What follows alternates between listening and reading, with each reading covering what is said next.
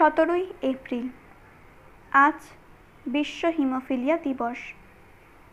Frank স্ন্যাবেলের জন্মদিন স্মরণে উনিশশো উননব্বই সালে দিনটির সূচনা করে ওয়ার্ল্ড ফেডারেশন অফ হিমোফিলিয়া।